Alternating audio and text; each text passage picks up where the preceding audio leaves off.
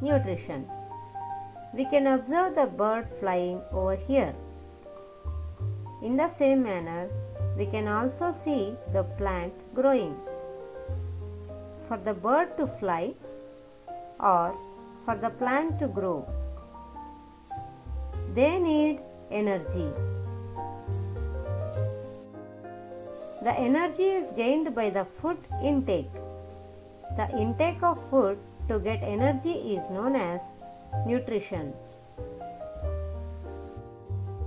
There are two modes of nutrition autotrophic nutrition and heterotrophic nutrition. Autotrophic nutrition utilizes inorganic compounds such as carbon dioxide, water molecules, etc. to produce carbohydrates.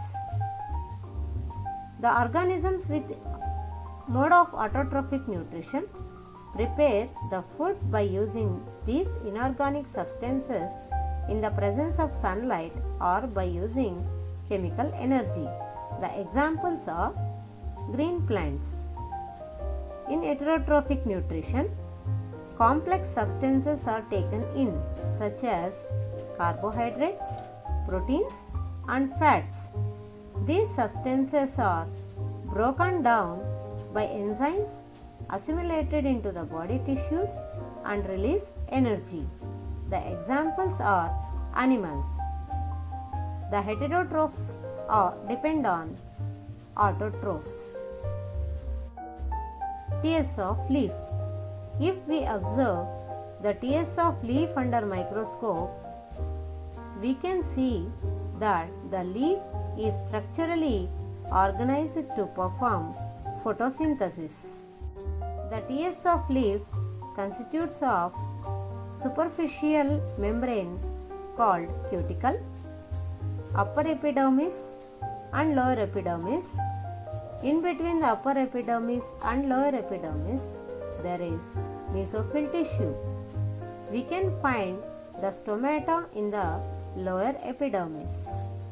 The mesophyll tissue is the prominent zone to facilitate the process of photosynthesis containing the chloroplast cell organelles. The chloroplast contains grana and stroma which together bring about the process of photosynthesis.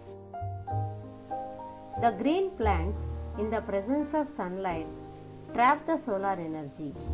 They also take the carbon dioxide from the atmosphere and water molecule from the soil to produce glucose and oxygen. Glucose is utilized for growth and other life processes.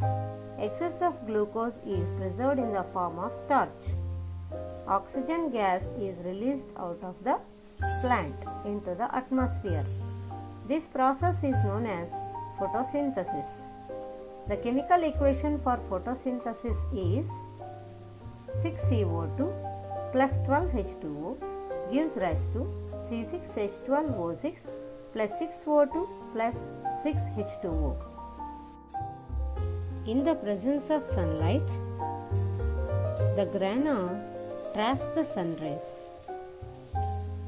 to stimulate photolysis of water. The photolysis of water results in the production of oxygen and H plus ions.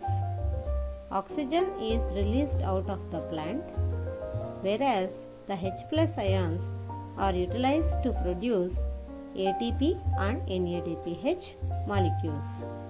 These are considered as energy rich molecules. These molecules are utilized in Calvin cycle. Calvin cycle takes place in stroma. In Calvin cycle, the intermediary substances like RUDP reduce the carbon dioxide by using ATP and NADPH to produce glucose molecule. This glucose molecule is utilized for plant's growth and other life processes.